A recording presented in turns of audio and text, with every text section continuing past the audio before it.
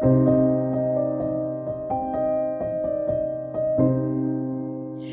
there, it's Sandy Allnock, and I'm going to do a review-ish of the Luminance Portrait Set.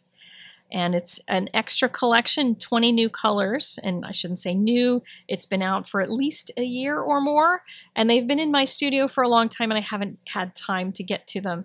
So I'm going to be swatching them, updating the hex chart, and doing some art. So all of that in one video. And this is the set of colors. You can see it's kind of a rainbow. There's a few neutrals added in there for skin tones since it's a portrait set. I'm eventually going to add these into my case that has all the other colors in it. But first, first things first, I decided to swatch them. So I have two different swatching methods for my colors. And one is to just put them on one and a half by one and a half inch squares of paper. Use whatever drawing paper you use on a regular basis when you do your swatching because otherwise if you do it on some other paper you just want to do it on something cheap it won't look the same necessarily either in texture or in color and if you swatch them multiple times you may want to have some swatches or some portion of the swatch that uses blending solution if you plan to use blending solutions I don't tend to use them any more than necessary because I like the look of pencil on paper. I like that texture. So my swatches lately have not had any blending solution applied because that's just another another step and I would rather get to the drawing. And for me, real life testing is what matters. So the drawing is the part where I really did my assessment. So there is the selection of colors. You'll notice there's no grays in there. That's something that's missing. There's no black. There is a really, really dark blue. You can see the blue section down in the corner, and the really dark blue is nearly black. And that will work fairly well. And you could also combine one of the browns with one of the blues and build up some neutrals. There's also not a lot in here that's really pale. So if you like some pale colors, you may want to add on onesies of other colors or find another set of luminance pencils that contains those kinds of colors. But this is just a quick overview of the kind of colors that are in this set already. So I proceeded then to fill in the rest of my hex chart, if I can even speak. And this hex chart is available as an update. I'll talk about that a little more while I do the artwork in a few minutes, but you can either write the numbers on the color chart itself in a white pen because you can't really see much of the text once you color them in. As you can see, it's kind of invisible. But what I prefer, which looks a little tidier, is to have the chart printed at my local print shop on a piece of acetate. So I have them printed on a transparency and you can just lay it over top. So there's two real life projects. One is a card that is on another channel, but I'll show you a little preview of it. And the other is going to be a fine art piece, a portrait done here. Both are done on this drawing paper from Arches. It's not my favorite paper in the universe. At least it hasn't been until this drawing that I did, so I kind of like it after that. But this is the project that's going to be done over at MFT. It's a card with two little girls on it, and you can go see that on their channel. I'll put a link to their channel in the description of this one, so you can go check it out.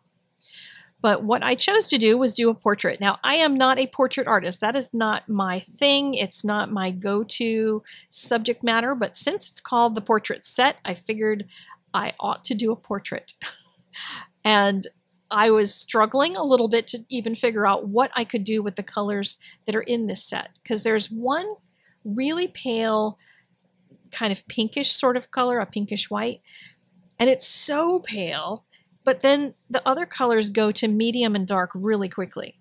So I opted to do a woman of color because I thought that would be a little bit easier with the kinds of colors that are in the set itself.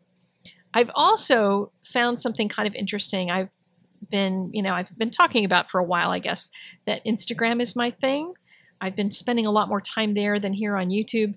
And there are a lot of portrait artists who use much richer colors, even for Caucasian skin than I would normally ever choose in a million years.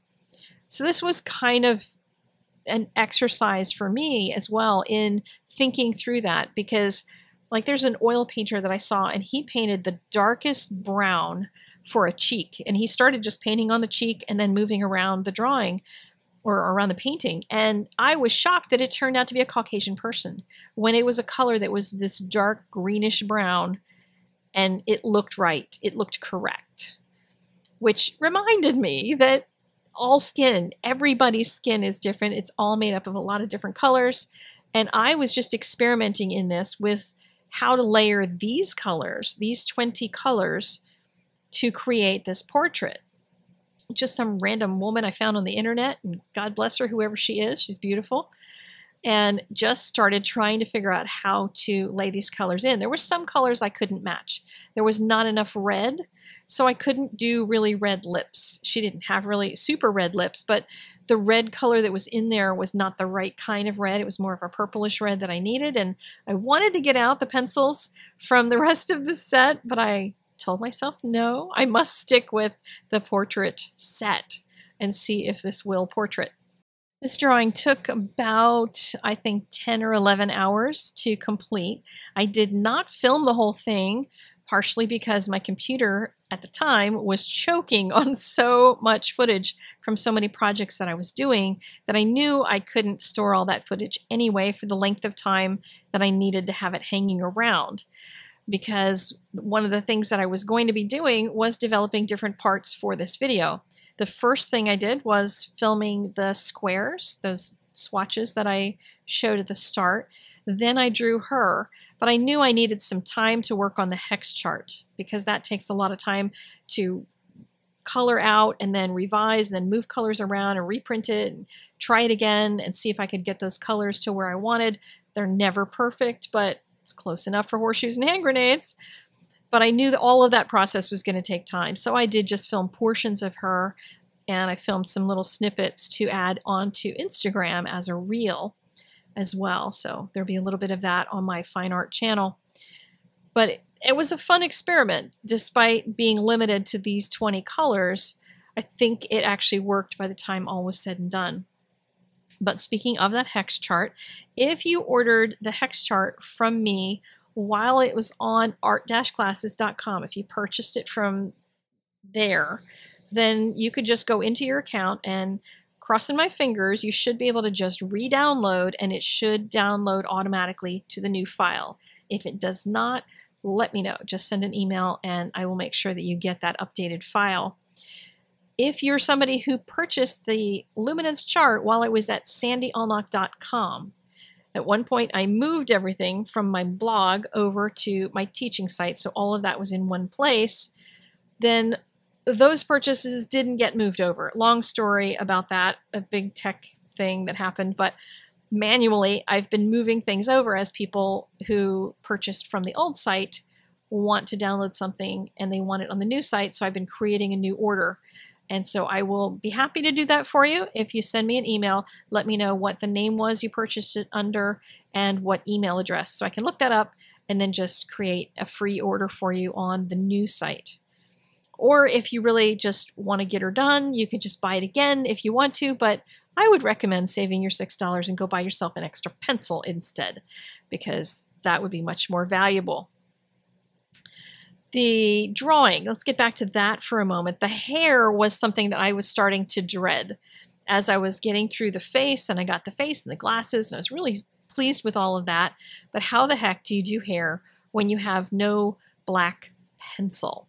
She's got this really rich, dark, natural hair, and it's got beautiful texture to it. How do you manage that? So I started with just layering a bunch of colors on top of each other. And starting with blues and purples, I like to do that under blacks anyway because it just gives the blacks more life. They don't end up being quite as, I don't know, flat, I guess. But there's one really dark blue in this set that is quite quite amazing. The color number I think is 631. I think it's dark indigo, and as you can see, it is practically black. Might as well be black, but I like it better than black because it's got some of that blue in it, and it gives you a little bit of that flavor to it. I used it on the right hand side of her, the underneath side of her hair. I used it in some of her glasses, and it can have that neutral black flavor if you mix it with some of the browns, which is what I did on some of those portions to try to neutralize it more. But in her hair, I decided I didn't really need to neutralize all that much because I wanted that that really brightness of the blues and the purples to show through and opted even as I moved to the top of the drawing to just let her hair fade to a really pale color anyway. So this worked out really well. I am using a handheld sharpener and I've kind of come to when I use my luminance pencils using the handheld because it will eat up less of the pencil than the Bostitch QuietSharp which I normally use for colored pencil. I like the point that I get from that but I don't want to use my pencils up any faster than necessary when we're talking about pencils like this that cost a pretty penny for each one of them. So there she is. She is all done and gorgeous. And I had a lot of fun doing this. I'm not a portrait artist, but I'm kind of tickled that this came out and was worthy to share here on YouTube because I always get scared about that. If you want to go see the card that's over on the MFT channel, I'll have a link to their channel down in the doobly-doo so you can check it out. And I will change it to the specific video once I have that URL. And there's, of course, always more on my blog if you want to see a still picture of this portrait and study it, etc. And that's about it for me today. I will see you later. Link to the hex chart is down below as well. And I will talk to you guys next time. Bye bye.